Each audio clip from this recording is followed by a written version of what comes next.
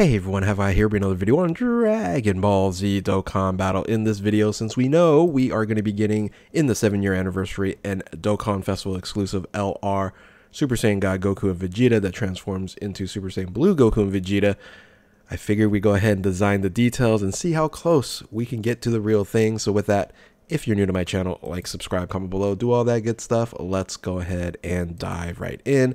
So of course we got the card arts, amazing card arts for this, um, you know, LR Super Saiyan God Goku and Vegeta, and we want to find out what the details are. So this is going to be a speculation video, right? So all the things I'm going to be talking about speculation, except for the card art, um, and try to figure out again how close to the real thing I get. I don't know. I got a little crazy on this one here. So let's go ahead and, and, and, take a closer look. So I did look at all the Goku and Vegeta Dokkan Festival exclusive LR units. We got five on top there. Also looked at the four, what was it? Yeah, four, five, five year anniversary. Was that five year anniversary? Yeah, five year anniversary for the LR fusions, and then you have some some uh, TURs in uh, Godku and uh, God Vegeta, which funny enough, there's only one God Vegeta unit in the game, which that's kind of strange, right? So I would think there would be a lot more than that. And of course, the AGL uh, movie heroes leader in Super Saiyan um, Gogeta there. So kind of looked at okay, what would be the correct option to choose as a leader uh, or type advantage leader um, and I'm looking either at int or AGL. And if you did watch my Super Saiyan 4 video here, uh, I did choose AGL. So we're going to go with int on this one here. So uh, let's go ahead and take a look at the details. Like I said, it's it's it's kind of kind of a little bit crazy. I think I think. Um, so if this unit does not have a brand new category as a leader, which it's most likely that it will, um, we're gonna have like 100 categories by the end of the year, maybe or something like that if they don't do that, hopefully they'll stick with these two or or possibly three. You know, the third one I was looking at besides movie heroes and join forces is Realm of Gods, of course. But Realm of Gods has a ton of leaders. You know, Super Saiyan uh, or UI Goku, the Int one, um, Beerus, even Zamasu, stuff like that. I, I, you know, they have a lot of leaders there. Even like UI Goku, the strength one's at 130. Um, but movie heroes only has one leader, and that's the blue Super Saiyan um, AGL Gogeta, right? So it's time for another movie heroes leader. And Joined Forces doesn't have 170%, so I go ahead and buff that 177%, which, like I did on the Super Saiyan 4 units, uh, I hope they're just going to crack that 170% meta and go with 177% being the seven year anniversary. So, um, so that's what my guess here. Movie heroes or join and join forces. I think that'll be an amazing combination. I think join forces would be crazy strong at 170. There's so many amazing, amazing units on there. Uh, and then, of course, Movie Heroes just needs a, a, revamp, right? A really a strong revamp, and this would be the unit to do so. So let's go ahead and take a look at the super attack here. The 12 ki is Godbind and Final Burst Cannon. I put it as a raised defense and causes colossal damage to enemy and seals super attack. So this does have a mechanic where you are, you know, getting a defensive buff, which of course for long events people like to have. Problem, problem is this is only on the 12 ki, but during the non-transformation state, getting 12 ki shouldn't be too bad. I don't think. I don't really have a ki boost on this uh, this portion here. You would get a ki boost when you transform. I'll show you what that's going to look like in a second, but. Uh, um, you can get his defense up. It really, I, I how I built this, you kind of really don't need it. I, I should have just put like raises attack in reality for the super attack there. So the ultra super attack is Kamehameha and Big Bang attack, and that raises greatly raises attack and defense for one turn, causes mega colossal damage to enemy, and lowers attack and defense again. I'm just looking at here going, man, I, am just, I made this unit a little bit too having too much utility in a sense. But hey, if this is going to be the best unit in the game, it's going to have to have things of this nature. So the passive skill. That's where it gets a little bit crazy here. So God Ki Saiyans is what I called it. Um, attack and defense 77%, which isn't super strong, right? But then attack and defense 77% with performing super attack. That's when you kind of combine it up, and now you are re really strong just with those two options right there. Now, this unit here does do a little bit of orb changing. It does randomly changes ki spheres to a certain of a certain type to rainbow ki spheres, and then you're able to have reduction of damage by 7% and attack 17% per rainbow ki sphere obtained. So you are going to get a little bit of boost, actually quite a bit of boost if you can get generally speaking, three to four, it's really hard to get, but you know, you're going to get two pretty easily, uh, especially if it's going to be um, orb changed, right? So three to four, you know, you're going to get 20 something percent, uh, 28% damage reduction, which is, I think, very useful.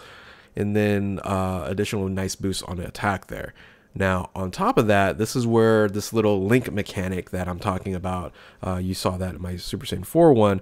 Um, this one has, in a sense, two different versions. One is an attack bu- boost, uh, attack 7%, which isn't that much, but it's an additional boost if you are uh, running a Kamehameha unit linked activated. Now, how I'm explaining this is it actually buffs both units. So not only that this unit gets 7%, but the other unit that's linked up also gets 7%. So it's kind of like a support as well. Hopefully you guys understand that. Uh, and then if you have Warrior Gods or an over in a Flash, you have a high chance of guarding all attacks. Again, really, really interesting that you're going to give this ability to the other unit that's linked up that has Warrior Gods or over in the Flash.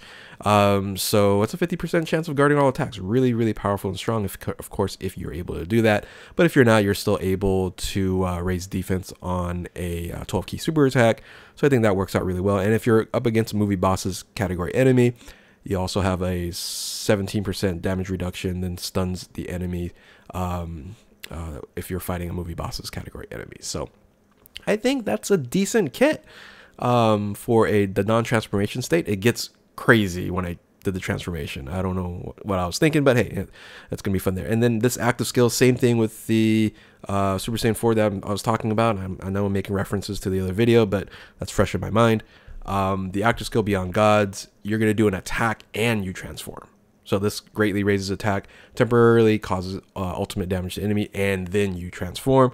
And then I made it fairly easy, I think. Uh, can be activated when HP is 77% uh, or below. I think I didn't finish that sentence there. Can be activated when HP is 77% or below. Okay. Uh, or it can be activated anytime when there's a movie boss's enemy category. So if you're fighting movie bosses, boom, you transform right away. Uh, but 77% and below shouldn't be too hard to actually get. So uh, maybe with this unit, because it's pretty heavy when it comes to uh, damage reduction um, or defense wise.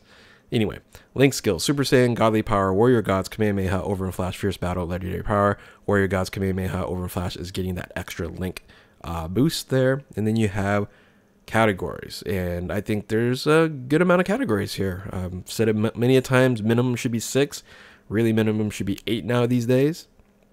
And um, and um, you know you're looking at like what 90 or 80 something categories. So right here there's 11 or 12 1 2 3 4 5 6 7 8 9 10 11 11 so um, 11 or 12 that'd be really solid. You can run on multiple different teams here. And stats 22 077 29 almost 23,000 attack that's kind of high and then 13.3 for defense uh, pre-transformation. Now, of course, we get to transform here. The Super Saiyan God units go to Super Saiyan Blue, and you gotta love the look, right? The, oh, man, the card art is uh, classic and uh, iconic. Really, um, I was talking about like the trailer and then the moment in the movie in of itself. So let's go ahead and make the transformation here. And how much better did this unit get? Well, 12 ki super attack uh, raises attack and defense, so that is beneficial. The problem is it might be very difficult to get a 12 ki super attack off on this unit once once transformed. And the 12 ki also does mega colossal damage to me, and I kind of like that. You know, with the um, uh, full power Frieza and Super Saiyan Namek Goku, they're both mega colossal on both 12 and 18 ki, which you know I think makes it very very strong. Um, the 18 ki here uh, is the same. It raises attack and defense for one turn and, and causes mega colossal damage to me lowers attack and defense. That's the God Kamehameha and God Fountain Flash. All right, passive skill. So attack and defense same um, for the uh, regular buff, um, buff at 77%, and then after super, super attack 77%. That didn't change. Also randomly changes ki spheres to a certain type to rainbow ki spheres. That didn't change. So what changed was it reduces damage received by 7% and attack 17%. in addition to per ki sphere obtained. Doesn't matter what it is, it's per ki sphere obtained, and this is now up to 77%. So you have an opportunity to actually get a 77% damage reduction if you get 10 ki spheres.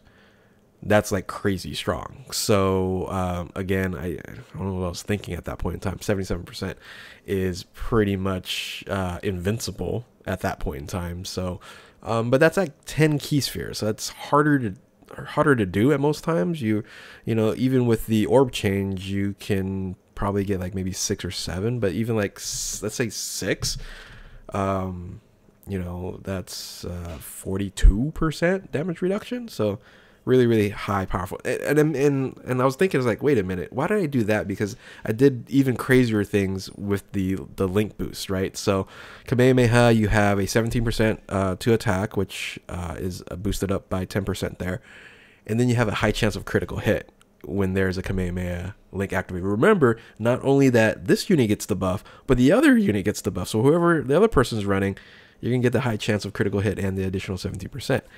This is where I go, I think I just made it too strong, right? Warrior Gods or Over in a Flash, if that link is activated, both of the units there, when whoever's linked there, uh, or I guess all three if you're running in the uh, in the middle slot there, seven ki, which makes the 12 ki super attack almost unattainable, and then just automatically guards against all attacks. so uh, I think I kind of messed up on there. I should have just kept it at high chance or put it at great chance. So I think that's like OP, super stupid strong when there is a warrior gods or over flash link activated. It's like like right there makes the, this unit one of the best units in the game. That it, just because it's sur- it's just surrounding the other units, the other units can guard against all attacks as well. So it's like using an item, and boom, there you go.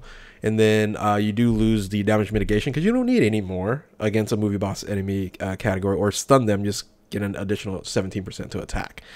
Um, the nice thing about this unit here, I did actually didn't change any link skills. So I'm not a huge fan of the link skills changing because of a transformation. In this case scenario, you're just going from Super Saiyan God to Super Saiyan Blue. So technically, you really shouldn't be changing much when it comes to the link skills. So I think that's uh, a strong point for this unit here.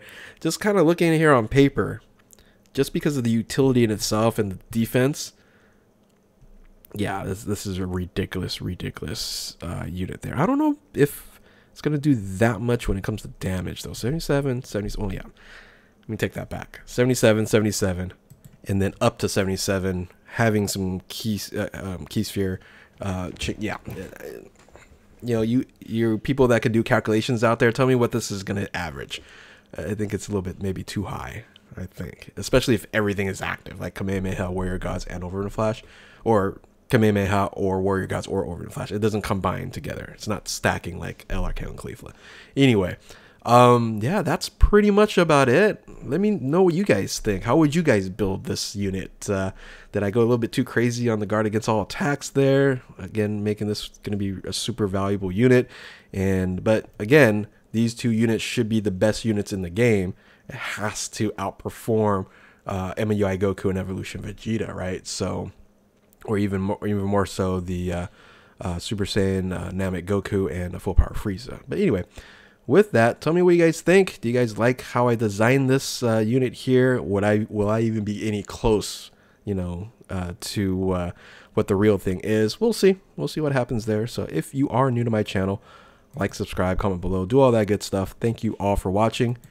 Keep on Dokkaning. We'll catch you next time. Later.